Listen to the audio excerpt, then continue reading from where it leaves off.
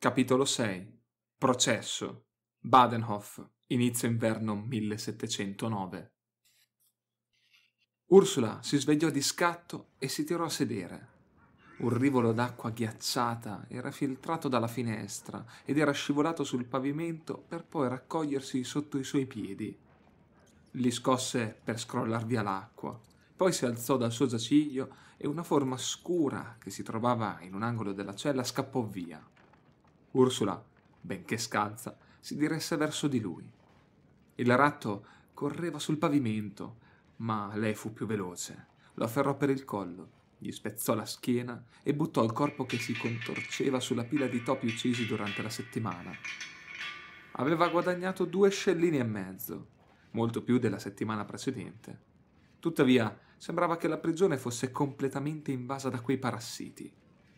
Guardò fuori dalla finestra e vide che, a giudicare dalla luce, non mancava molto all'alba.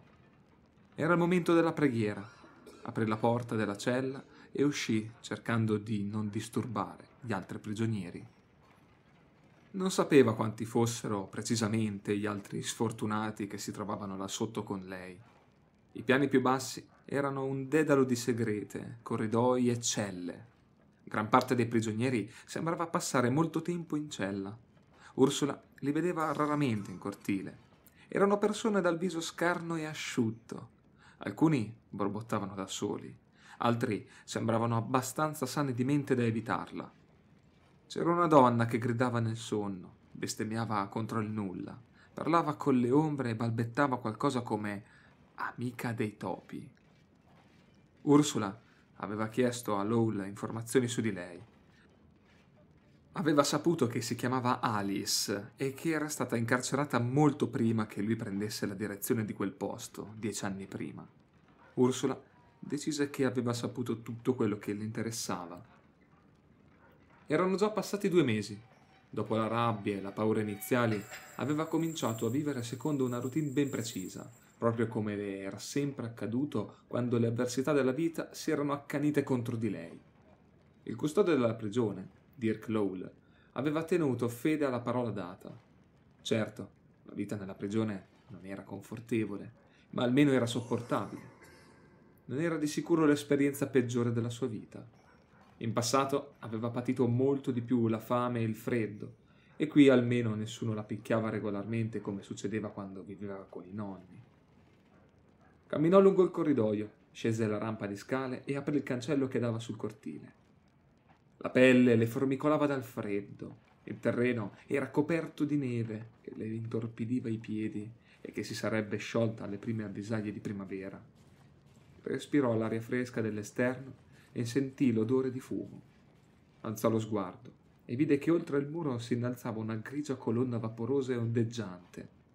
Era il terzo incendio in pochi giorni. Ursula pensò di chiedere informazioni a Lowell in proposito. Tuttavia, mise da parte i pensieri riguardanti i tumulti oltre il muro e si dedicò al suo compito. Non c'erano fiori nella prigione, ma Ursula grattò con le unghie i licheni rossi dalle crepe che tra le pietre dell'edificio si potevano intravedere. Dopo averne raccolto una manciata, si diresse verso l'antico santuario dedicato a Sigmar. Era una stanza di pochi metri quadrati ed era così bassa che Ursula poteva stare ritta a stento. La fioca illuminazione era assicurata da due stoppini fumosi immersi nel grasso animale. Lowell si era messo a ridere quando lei gli aveva prestato la prima dozzina di ratti morti e gli aveva detto che, invece del denaro, voleva gli stoppini e l'acciarino per illuminare il piccolo santuario. Il custode le aveva risposto che la protezione di una coperta e un pasto caldo sarebbero stati molto più utili di quella di un dio lontano. Ursula aveva risposto che era proprio quello il momento per rivolgersi a Sigmar con più ardore visto che sembrava fosse stata abbandonata da tutti. A quelle parole l'uomo si era zittito e il giorno dopo era tornato con l'acciarino e le lampade. Ursula compose una piccola ghirlanda, poco più grossa di un braccialetto. Si inginocchiò davanti al muro e fissò l'effigie, lavata e ripulita del martello di Sigmar. Si portò le mani al petto e cominciò a pregare. A mano a mano che pregava, il freddo scivolò via dal suo corpo e le fiammelle delle lampade diventarono come una stufa. Era concentrata sul martello, ma i suoi occhi erano puntati sulle fiamme che danzavano, mosse dall'aria fredda. Per un attimo le fiammelle sembrarono avvampare con più forza e calore, facendola trasalire e riempendo le narici del puzzo di carne bruciata. Si alzò di scatto e sbatté la testa contro il soffitto. Il colpo le fece fischiare le orecchie. Rimase intontita per un secondo. Poi qualcuno le afferrò il braccio e lei si girò pronta a graffiare il viso dell'assalitore, ma si fermò un attimo prima di piantare le unghie negli occhi di Dirk Lowell. Calma, esclamò il custode, facendo un passo indietro. Mi dispiace di averti spaventata. Scusate, ho battuto la testa. Si schermì Ursula. Ho visto. La rassicurò Lowell, che sembrava distratto. C'è qualcuno che vuole vederti, Me? replicò Ursula, tranquilla. Sentì il cuore che mancava un colpo. Forse Kurt era tornato. Portatemi da lui. Lowell annui e la guidò attraverso il cortile e l'edificio fino all'entrata che si trovava ai piedi della scalinata. Aprì il cancello e la fece entrare. Là, disse l'uomo, indicando il suo ufficio.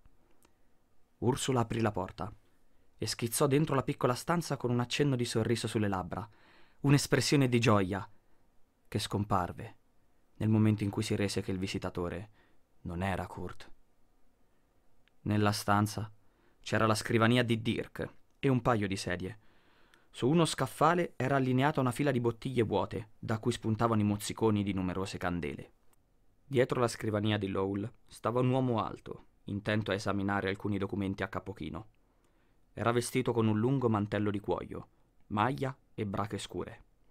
I capelli grigi erano lunghi e racchiusi in una coda di cavallo. Il viso era sfregiato e segnato, gli occhi cupi e calcolatori. Sulla scrivania era posato un cappello a larga tesa, decorato con una penna nera. Marius Van Diesel sentì Ursula che entrava e si drizzò, gratificandola di una fredda occhiata. Era giovane e molto carina, nonostante fosse vestita con gli stracci della prigione e avesse i capelli in disordine. Non somigliava di certo alle brutte streghe del folklore popolare, ma lui sapeva bene che l'apparenza poteva trarre in inganno. In quel momento, però, il suo istinto gli stava dicendo che erano arrivati a un punto morto nelle indagini.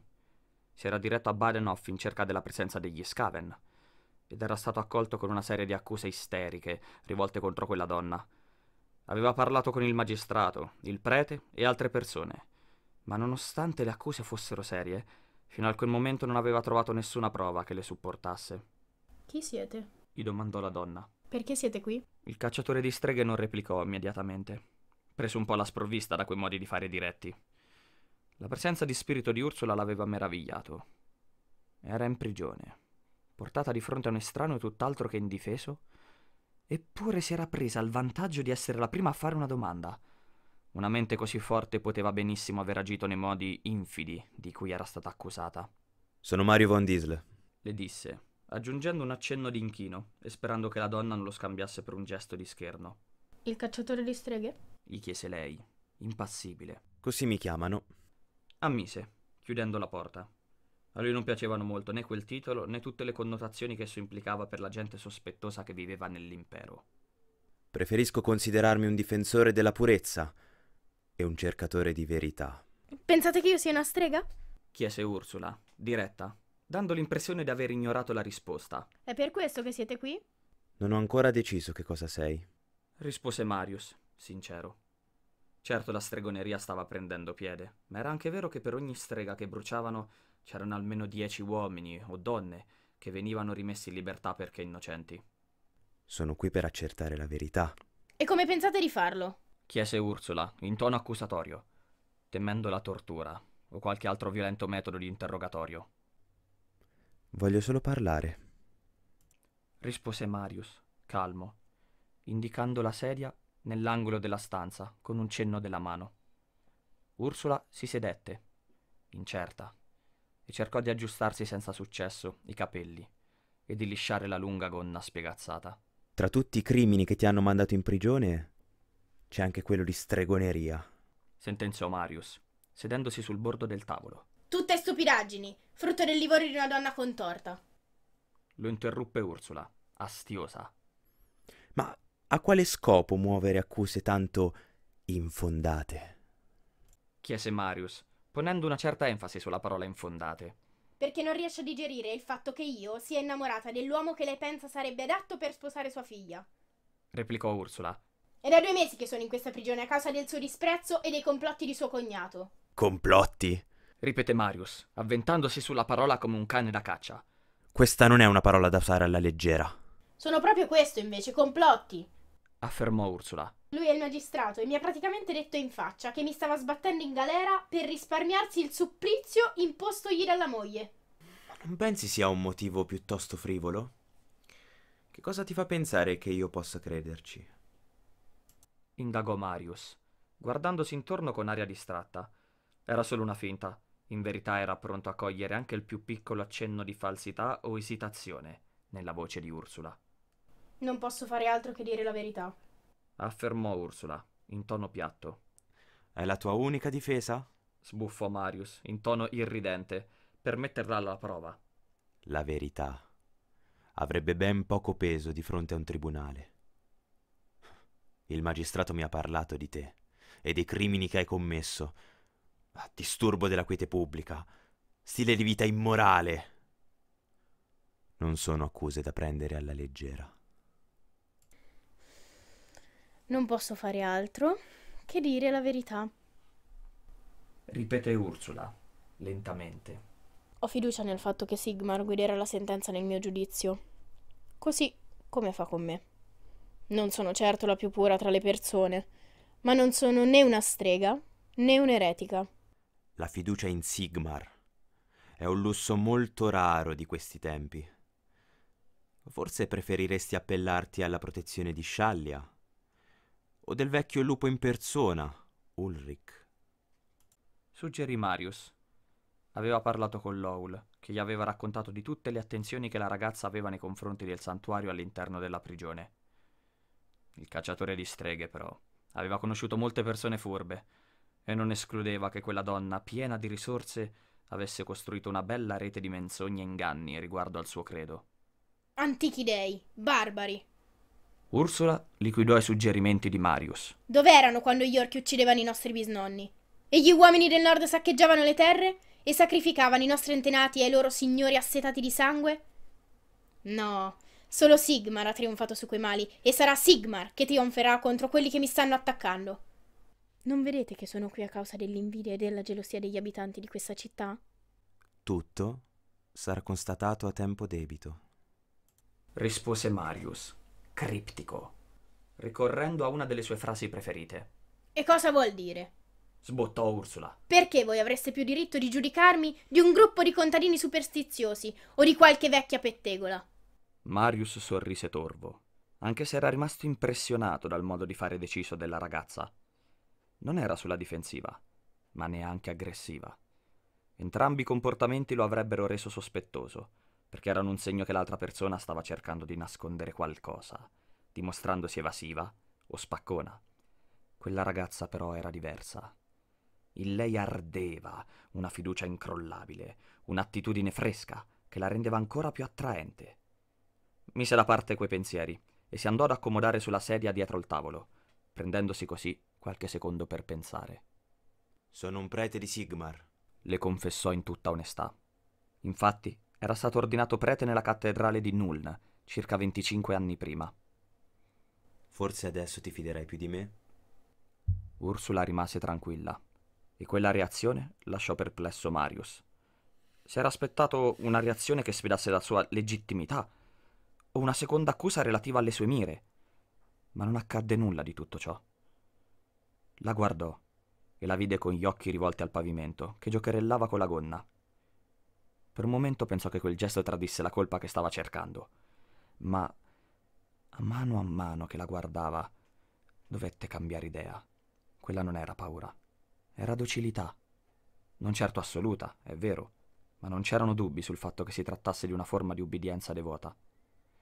Lui aveva dichiarato di essere un prete e il modo di fare della ragazza era cambiato. Il fatto che io sia un prete ti spaventa? Le chiese gentilmente. No. Rispose Ursula, alzando lo sguardo. Se voi siete un prete di Sigmar, come dite di essere, allora saprete che egli protegge coloro che lo amano. Quindi non devo temere niente nessuno. Ho parlato con fratello Theobald. Le disse Marius. La sua era una frase a effetto, per sondare le reazioni della ragazza, che tuttavia continuò a rimanere ferma nei suoi intenti. Mi ha riferito del tuo rituale mattutino. E il custode mi ha detto che lo ripeti ogni giorno da quando sei arrivata qui. Non ne ho mai fatto segreto con nessuno. Disse lei, in tono piatto. Non c'è nulla di sbagliato in tutto questo. È solo il rituale che seguo fin da quando ero bambina. Ho visto diverse versioni di quel rito in passato, ma mai così vicino a Badendorf. Ammise. Devi aver viaggiato molto nella tua vita. Sì, disse Ursula, e per la prima volta una sorta di esitazione trapelò dal timbro della sua voce. Mi stai nascondendo qualcosa! urlò Marius, battendo una mano sul tavolo. Il cacciatore di streghe cambiò approccio e girò intorno al tavolo. Cosa succede? Che cos'è che non mi stai dicendo? niente. rispose Ursula, tornando a fissare il pavimento. Sono orfano. Ho passato molti anni a vagabondare in cerca della felicità. Pensavo di averla trovata qui, ma sembra che sia stata privata anche di quella poca che avevo. Marius si aspettava di vedere una lacrima che scendeva lungo la guancia, o qualche altra trovata teatrale, ma non avvenne nulla del genere. La ragazza aveva semplicemente riferito un fatto. Il cacciatore di streghe la incalzò. E basta? Le chiese, afferrandole il mento tra le dita e costringendolo a fissarlo. Non hai mai maledetto nessuno in segreto? Non hai mai pregato i poteri proibiti nella speranza che ti potessero liberare quando sembrava che anche Sigmar ti avesse abbandonato? Sigmar non mi ha mai abbandonato. replicò Ursula, allontanando la mano per alzarsi. Di solito i preti dovrebbero aiutare. Ma voi vi prendete gioco di me, facendomi notare i fallimenti della mia vita e accusandomi di cose terribili che neanche conosco. Che razza di prete siete? Le lacrime si raccolsero negli occhi della ragazza, ma si trattava di lacrime di tristezza e frustrazione. Marius ebbe un momento di debolezza e per un attimo fu tentato di allungare una mano e stringerla a sé. Era una donna forte, ma anche molto vulnerabile. Il cacciatore di streghe si fece forza e resistette, perché sapeva di essere vicino alla verità. E non hai mai desiderato di fare del male a qualcuno? Le chiese bruscamente. Ursula lo fissò in cagnesco. Certo che l'ho desiderato. Chi non l'ha mai fatto? Ammise, continuando a piangere. Quando i miei genitori morirono e mio nonno mi picchiò per la prima volta, andai a letto e pregai Sigmar affinché una grande cometa a due code cadesse sulla sua testa. Quando ero povera e affamata e vagavo per le strade, desideravo che i nobili che mi passassero vicino nelle loro carrozze, schizzandomi con il fango, andassero in rovina. Certo, ho fatto brutti pensieri sugli altri, ma erano dettati solo dalla rabbia e dalla miseria, non da un desiderio genuino di far loro del male. Se pensate che tutto ciò sia malvagio, allora fate di me quello che credete meglio. Era una bella risposta, e Marius le credeva, ma ora doveva compiere l'ultima prova per essere certo. Prese la collana con il martello di Sigmar che teneva sotto la maglia.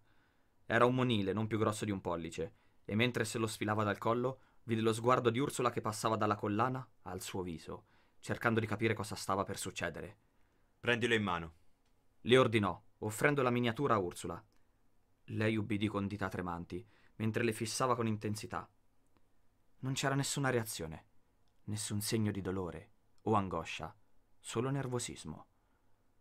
Marius Van Diesel riprese il suo talismano e diede le spalle alla ragazza. Ursula Scheck non doveva rispondere di nulla, forse solo di una certa libertà di spirito e mancanza di educazione, dovuta alla scarsità di contatti sociali. Se lui sapeva fare bene il suo lavoro, quella non era una strega. Il suo intuito, però, gli diceva che c'era qualcosa di più di quello che sembrava. Perché era proprio lei, tra tutti gli abitanti della città, quella prescelta per essere perseguitata?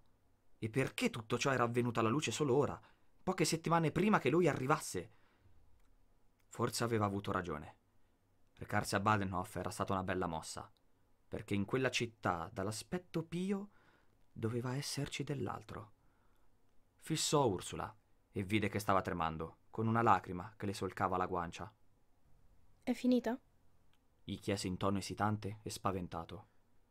Sì, non hai più nulla da dimostrarmi. Le disse, e lei avanzò di un passo. Grazie. Grazie. Gli disse Ursula, sprofondando la testa nel suo petto. Marius si permise di rilassarsi e le cinse le spalle con un braccio. La ragazza singhiozzò per qualche istante, poi si ritrasse e si asciugò le lacrime dalle guance. Sigmar ci protegga. Borbottò Marius, ricordando le grandi parole dorate scolpite sopra il portale principale della cattedrale di Nuln. Avrebbe tenuto la ragazza con sé per conquistarne la fiducia e avrebbe atteso lo svolgersi degli eventi. Nel frattempo, comunque, doveva tenerla al sicuro da chiunque voleva che lui fosse distratto dal suo vero compito. Aveva la netta sensazione che a Badenoff avrebbe trovato la chiave per risolvere il mistero degli Skaven. Una folata di vento freddo entrò nella casa, accompagnando Marius che entrava. Il cacciatore di streghe pulì gli stivali dalla neve mista a fango, battendoli a terra. Appese cappello e mantello a un gancio sul muro e sbatté la porta richiudendola. Ursula lo guardò, sorrise, poi versò nella scodella la minestra che bolliva sul camino e la posò sul tavolo, mentre Marius si toglieva gli stivali con un sospiro. Sentì i passi pesanti di Ruprecht che scendeva dalla scala e si affrettò ad aggiungere un'altra scodella di minestra. I due uomini rimasero seduti in silenzio mentre Ursula si preoccupava di portare pane e formaggio. Dieci giorni prima, Marius l'aveva liberata dalla prigione e ora lei fungeva da governante per il cacciatore di streghe e il suo braccio destro, che avevano trovato alloggio in una casetta accanto al santuario di Sigmar. Gli altri uomini erano alloggiati nelle varie taverne e case di Badenhof, con il compito di stanare i cospiratori. Ursula aveva notato i sussurri e gli sguardi in tralice quando entrava a fare spesa, ma fino a quel momento sembrava che la compagnia intimidatoria di Marius le avesse risparmiato parecchi guai. Ursula pregava ogni giorno, perché Kurt tornasse sano e salvo e perché i problemi della città finissero in fretta. Ogni mattina doveva sopportare le occhiate glaciali e la silente derisione di Frau Linde, che l'aspettava davanti alla porta del santuario. Ruprecht finì di mangiare, spostò la scodella e starnutì rumorosamente, mentre si inclinava all'indietro con la sedia. Darius ha trovato il corpo di Herstein, riferì, lanciando al contempo un'occhiata a Ursula, che si affrettò a sparire in cucina per lasciarli soli cominciò ad armeggiare con pentole e piatti, cogliendo parti della conversazione. Dov'era? chiese Marius. Questo è il fatto più singolare. Era dall'altra parte della città rispetto ai suoi magazzini, spiegò Ruprecht. E non era un bello spettacolo. L'abbiamo tenuto coperto e la ronda non ne sa nulla, ma era infettato dalla peste. Ma è morto d'infarto. Per Sigmar, ma com'è possibile prendere la peste dopo morti? Disse Marius. Non ne ho la minima idea, borbottò Ruprecht, finendo la minestra. Forse la prima volta non era morto davvero. Dici? azzardò Marius. Suppongo che non ci sia modo migliore al mondo che quello di fingersi morti per poter continuare le proprie attività losche. Ma perché attirare l'attenzione di tutti facendo scoperchiare la tomba? Non ho tutte le risposte, disse Ruprecht. Certo che no. Nessuno di noi le ha. Ammise Marius. Due settimane e non siamo riusciti a ottenere neanche la minima traccia di attività degli Scaven. Solo qualche sospetto e alcuni eventi bizzarri. Oggi è andata meglio? Mm. Non abbiamo trovato nulla nel quartiere sud. Si lamentò il gigante mentre Ursula tornava con un piatto di rape e patate arrosto. Mm, è come se in questo posto fosse passata un'orda di orchi. Un edificio su cinque è ridotto a una rovina fumante. Tutta Suidenstrasse è una pila di macerie. Quando la gente del posto ha saputo che in quella via vivevano degli appestati ha dato fuoco a tutti i palazzi, prima che la ronda potesse arrivare. Anche i becchini si lamentano per il troppo lavoro. Ma sono tutti impazziti? chiese Ursula, risentita, servendo il cibo. Beh, in un certo senso sì, ammise Marius, ripulendo gli ultimi avanzi di minestra dal fondo della scodella con un pezzo di pane, per poi prendere le verdure. La gente è come le pecore. e ha bisogno di un buon pastore. Badenoff è nella morsa di uno strano malanno, i cui sintomi sono la paura e il sospetto. Hanno fame e freddo, sono isolati. La gente è terrorizzata e sta cercando una soluzione ai suoi problemi. Alcuni individui si sono scatenati e gli altri li hanno seguiti. La città sta cadendo preda all'isteria, che è alimentata dall'incertezza. I governanti della città non stanno facendo nulla. E la situazione non può che peggiorare. Lo abbiamo già visto succedere altre volte. Confermò Ruprecht, scuotendo la testa, triste. Il vero problema è che questa situazione non fa altro che vanificare il nostro lavoro. Mentre tutti gridano strega, strega, indicando il vicino, i veri colpevoli possono nascondersi dietro la confusione e l'anarchia. Quindi, dovete scoprire chi potrebbe trarre profitto da questa situazione. Suggerì Ursula. Forse potrei aiutarvi se mi diceste il motivo che vi ha spinto a venire qui. Forse sì. Forse no. Replicò Marius, solenne. In questa storia non è implicato solo chi l'ha istigata, ma anche ogni sorta di profittatore opportunista. Gente dalla mente limitata, chi cerca vantaggi personali, come è successo tra Frau Linde e te. In certi momenti temo che la mia presenza non abbia fatto altro che accelerare la decadenza e il disordine. Ho dato loro un nuovo capo espiatorio, visto che ogni giorno ricevo accuse e lamentele. Ah, meglio se ne stai fuori. I sentimenti che scateni potrebbero solo complicare ulteriormente la situazione. La nostra presenza può aver scatenato tutta questa follia, aggiunse Ruprecht. Appena si annuncia la presenza di un cacciatore di streghe, tutti cominciano a chiedersi improvvisamente perché è arrivato e saltano fuori i pregiudizi e le superstizioni. Come fate allora a districarvi in questo dilemma?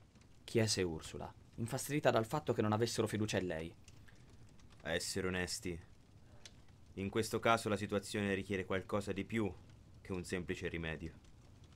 Ammise Marius, sconsolato. Abbiamo bisogno di pazienza e anche un po' di fortuna. Può anche darsi che gli unici problemi della popolazione siano davvero la fame e le malattie. E in questo caso dobbiamo esserne ben sicuri prima di ripartire. E dobbiamo stare in guardia, aggiunse Ruprecht in tono ottimista. Se siamo diligenti, qualcuno potrebbe saltare fuori. La cosa veramente importante è essere pronti per quando succederà, in modo da agire rapidamente. Fortunati? Preparati? Qualcuno che può saltare fuori? esclamò Ursula esasperata. Ma che significa? Marius e Ruprecht si fissarono e scrollarono le spalle. Non c'era nient'altro da dire. Quasi un terzo di Badenov era ridotto in macerie e le zone più povere della città erano totalmente fuori controllo. Alcuni elementi della ronda cittadina erano di poco migliori rispetto alla folla assetata di sangue che si supponeva dovessero tenere a bada. Marius aveva detto a Ursula di non uscire. Ruprecht le aveva detto che era preoccupato per lei ed era convinto che l'ira della gente non fosse diretta contro di lei, solo dai pettegolezzi acidi di Frau Lind. L'aveva raccontato alcuni dei luoghi comuni sulle persone con i capelli rossi, e sembrava che qualcuno stesse fomentando i moti e la violenza, al fine di nascondere le sue attività funeste. Purtroppo, Marius e la sua gente non erano neanche vicini a identificare quella persona. Ursula non si preoccupava troppo, perché sapeva di essere innocente, e qualsiasi cosa avessero provato a fare i suoi nemici, Sigmar l'avrebbe protetta. Passarono altri due giorni, nel corso dei quali Ursula continuò ad occuparsi delle faccende di casa, per il cacciatore di streghe e il suo luogotenente. Di tanto in tanto arrivavano altri membri del gruppo per riferire le loro scoperte, ma le novità erano poche, e nella maggior parte dei casi gli uomini si lamentavano per le interferenze della ronda, la violenza della folla e l'inettitudine, o compiacenza, dei governanti della città. Era giunta la notizia che le città vicine si trovavano più o meno nella stessa situazione, e che tutta la parte settentrionale dell'Ostermark stava per rivoltarsi. Ursula non realizzò quanto fossero malmessi, fino al momento in cui Marius entrò in casa rapidamente poco prima di pranzo, seguito da Ruprecht e da altri due uomini. Ursula, che stava pulendo il pavimento vicino alla stufa, si alzò stupita. Qualcosa non va? La faccenda si è fatta seria, ringhiò Ruprecht. Anzi, molto brutta a dire il vero. Mettiti qualcosa di caldo, dobbiamo andare via. Perché? domandò Ursula, indignata. Da cosa dovrei scappare? Basta con le discussioni! Sbottò Marius. Gli eventi hanno preso la peggiore delle pieghe per tutti noi. I nostri nemici sono manipolatori e anche abilissimi. Sembra che l'interesse nei tuoi confronti non stia scemando e lo stiano usando contro di me. Sospetto che ti abbiano usata. Usata come capro espiatorio fin dal momento in cui sei arrivata. E sono sempre più convinto che c'è qualcosa di molto oscuro che si muove in questa città. Ma adesso forza, dai, preparati a partire. Non andrò da nessuna parte finché non mi dite che cosa sta succedendo. dichiarò Ursula, incrociando le braccia sul petto con aria ostinata. Hanno mosso alcune accuse riguardo al nostro, come dire, accordo. borbottò Marius, fissando la finestra. Lo strepito delle urla aumentava d'intensità. Il nostro accordo. Fece il verso Ursula. Immagino le cose odiose che saranno uscite dalla bocca di streghe come Emerelde. Non hanno mai creduto che potessi fare qualcosa di buono. Ho visto come mi guardano e come sussurrano tra loro quando sono uscita. Ma ne ho avuto abbastanza! Posso convivere tranquillamente con i pettegolezzi di qualche vecchia beghina. Disse Marius, serio in volto. Le fece cenno di avvicinarsi e di guardare fuori dalla finestra. Ursula scorse un gruppo di circa 15 uomini che correvano giù per Sigmarstrasse. In mezzo a loro vide alcune fasce rosse che indicavano la presenza di uomini della ronda. Ursula si girò, si diresse verso la porta, evitando le braccia tese di Ruprecht, che cercò di bloccarla, la spalancò e attese che la folla si radunasse di fronte alla casa. Non avete da lavorare? Chiese loro Ursula. Potrai anche aver ammaliato il cacciatore di streghe con un incantesimo, ma non annebbierai le nostre menti. Quello che parlava era un uomo di mezza età che stava davanti a tutti. Era basso e magro, con una grossa pustola sul lato sinistro del naso. Ruprecht spinse da parte Ursula e cominciò a parlare con la folla, mentre Marius si avvicinava. Lascia fare a noi, ragazza impulsiva. Le sibilò in un orecchio il cacciatore di streghe, temendo che la situazione gli sarebbe sfuggita di mano se non avesse ripreso il controllo. I gesti avventati di Ursula potevano mettere tutti in guai molto seri. Quello è Aiger Winkler, il capo usciere della corte. Questa non è solo una folla rumorosa, stupida ragazzina. Le parole di Marius colpirono Ursula come uno schiaffo e la ragazza arretrò. Rimase in silenzio per un attimo, prima di spingere da parte il cacciatore di streghe Ruprecht e pararsi di fronte alla folla. Cosa volete da me? Urlò. Alcune persone, tra le quali Winkler, erano entrate nel giardino. Non ho fatto nulla di male. Allora non ti darà fastidio affrontare un pubblico processo, rispose Winkler, facendo un passo avanti. Tu conosci le accuse. Un processo? Sbottò Ursula. Sarebbe solo una farsa. Non farlo. La mise in guardia Ruprecht. Attenta. Il magistrato Fenster aveva previsto una simile eventualità, le disse Winkler, che si era allontanato leggermente dalla folla, tenendo le mani chiuse di fronte al petto come un topo che sorveglia il suo cibo. E per consentire a te di mettere da parte i tuoi dubbi e a Ervan Diaz li salvaguardare il suo nome, il magistrato Fenster ha proposto che il processo sia presieduto dal cacciatore di streghe. Ma che stupidaggini sono! esclamò Marius dalla soglia. Poi si girò verso Ursula. Non abbiamo nulla da dimostrare qui. Qualcuno sta cercando di ingannarti. Che cosa dicono? chiese Ursula, rivolta al cacciatore, per poi lanciare una rapida occhiata a Winkler. Non è importante, ragazza, le disse Ruprecht. Cosa dicono? La voce di Ursula era ridotta a poco più di un sibilo. Che ti sto proteggendo in cambio di certi favori di natura fisica. replicò Marius, dopo una lunga pausa. Mi avresti stregato, costringendomi ad accettare l'accordo. Non ci fare caso. Insistette. Ursula bruciava di rabbia. Si girò verso la folla e si diresse da Winkler. Sosterrò il processo. Sputò Ursula, avvicinando il viso a quello dell'uomo. Questa città capirà chi sono i veri responsabili di questa situazione. E quando sarà il momento, io sarò presente per vedere i giudici che li sbatteranno in galera a marcire. E con questo ci ha fregati. Borbottò Ruprecht, alle spalle di Ursula.